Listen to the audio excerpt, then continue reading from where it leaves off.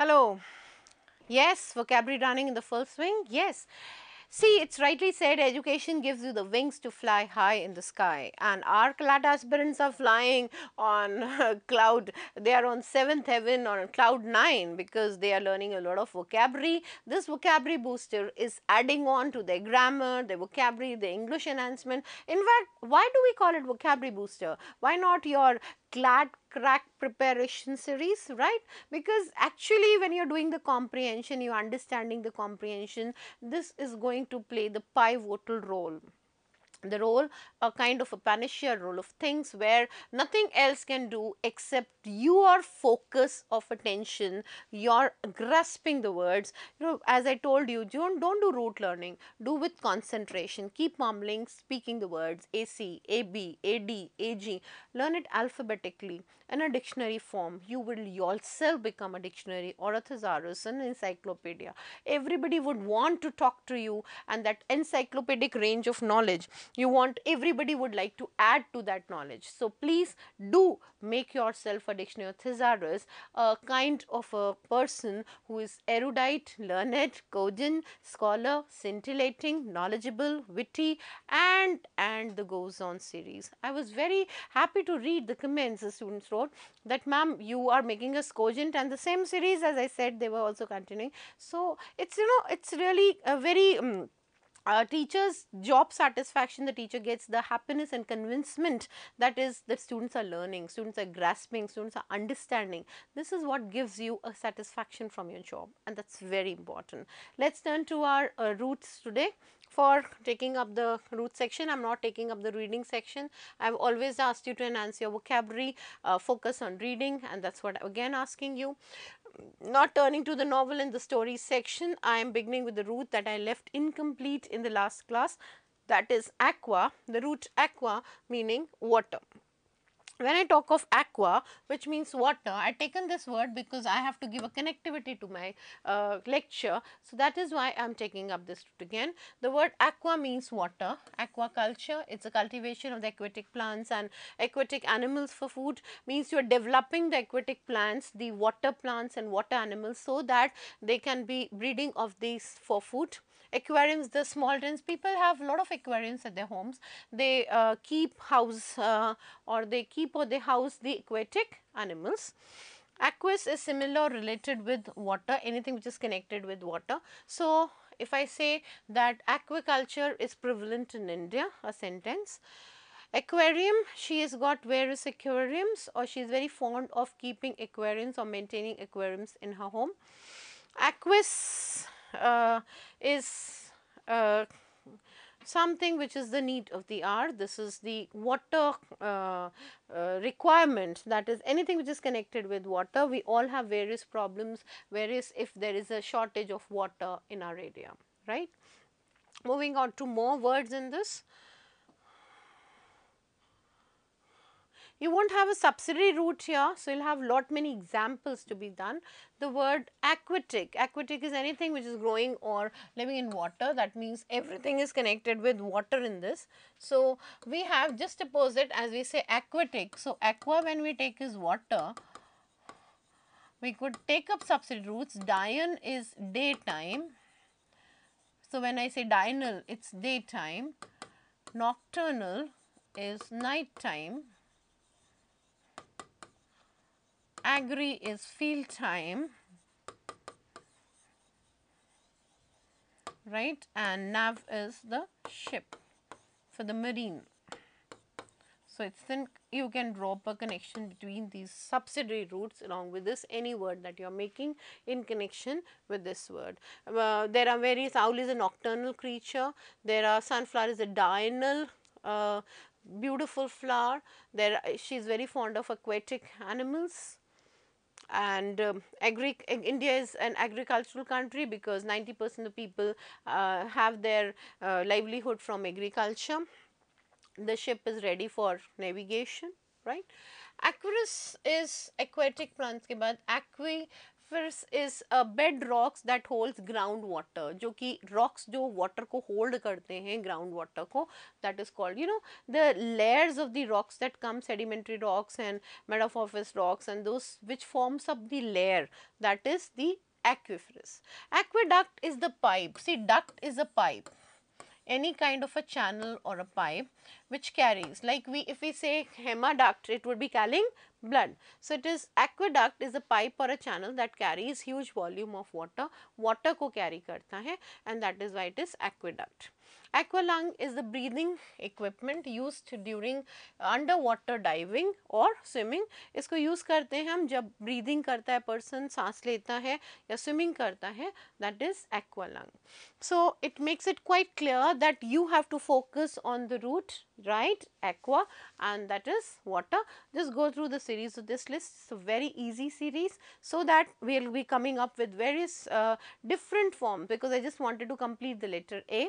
So, I took up this word also along with this right. Moving on to our next one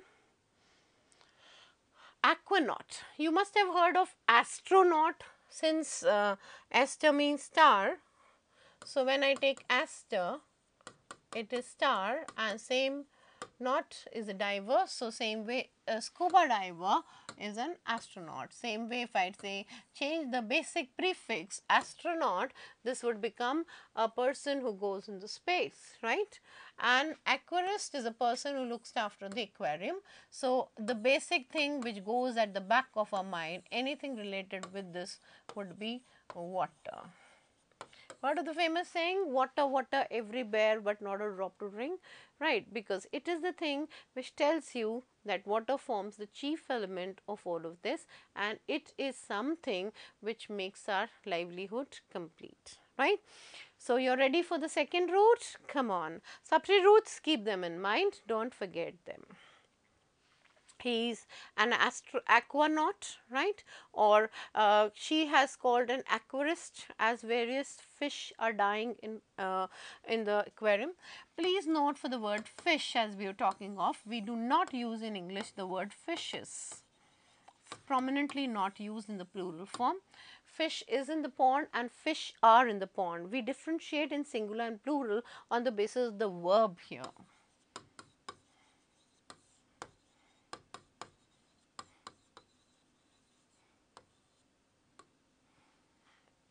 Right.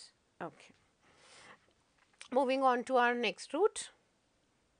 We have noted down everything. Okay. Wonderful root. Onym. Onym means name. Anything's name is onym. Now we have first the roots uh, linked with it. First the subsidiary roots that I take.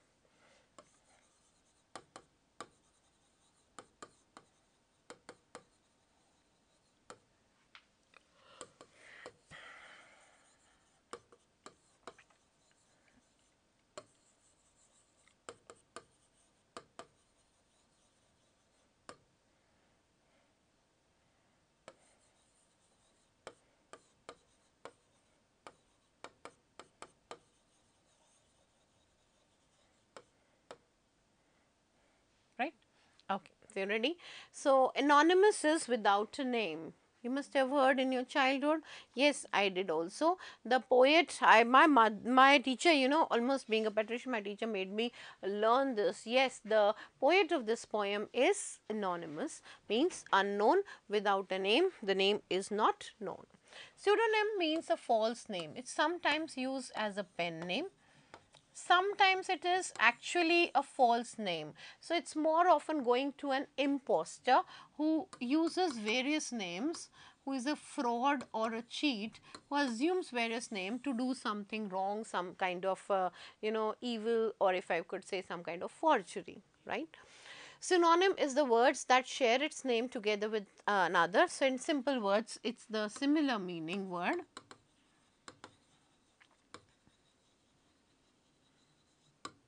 right. Antonym is just the words whose name is opposite to each other. So, they are opposites. The meaning is contro or contradictory.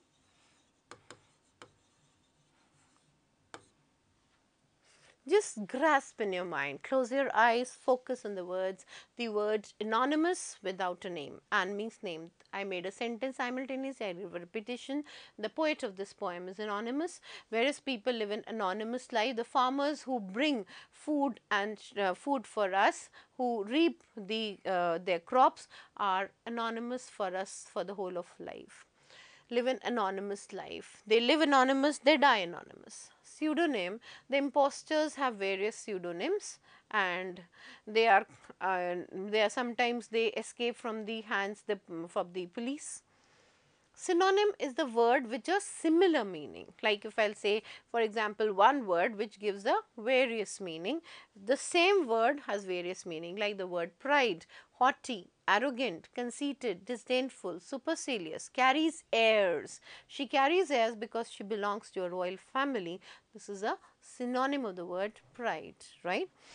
Moving on to antonym, this is opposite of the thing. So, if I say happy, the opposite would be sad, ecstasy is to depression. So, this is an antonym relation. This forms a very important relationship in English. In fact, this is the axis of English.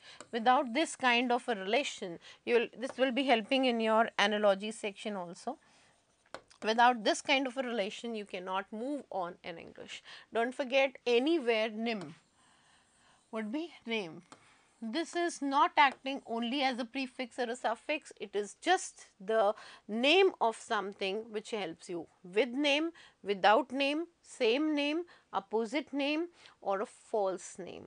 See people do have a pen name like various poets, various writers used to write with the pen name. I had discussed with you about Rob, uh, the forgetting essay right if I do remember. Yes forgetting Robert Lynd used to write by the uh, pen name of YY and very famous writer that is uh, the Joseph Addison he used to write by the pen name of uh, Spectator. These people used to write by the pen name for a noble cause because they didn't want to get popular. Autographs and photographs they wanted to keep away from the glamorous world, the dross and gloss of this world and they wanted to keep away from being highlighted. That is pen name. That's not a pseudonym. That's a pen name. So, there is a difference I had explained you of the two. Sometimes people take them as synonyms, but they are actually not synonyms. I hope the idea is clear. The subsidiary rules and is not or without, right.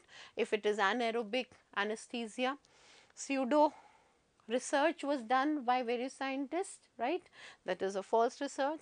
Uh, synonym or synonym or ant or antonym or antagonist you must have heard like protagonist is the main, pro is main and ant is against and the word we are taking is analogies linked with these things.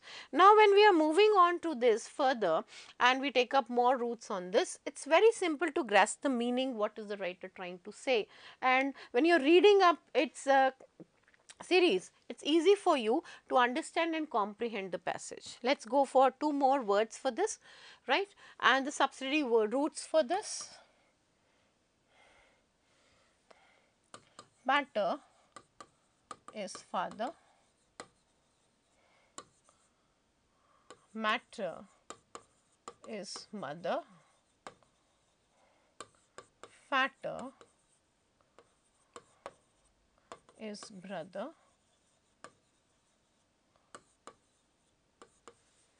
and or H-U-M, it's human being or simply man, right. So, patronymic is father's name, patronymic is mother's name, you know on the dynasty that you are carrying on. And homonym is same words. Like if I say for the word there and there, they are homonyms, right this brings belongingness, this is a pronoun, right. So, this is simple to grasp and understand the word homonyms, the two roots we have taken and the 10 subsidiary roots we have taken. I hope you understood and you enjoyed the series, you have made your own examples, the sentences and everything else is clear to you. If anything you find a doubt, any problem, it is something we would love to, we welcome all doubts, we welcome all criticism because it is your appreciation which really makes us what we are, right. So, thank you for today. Thank you students.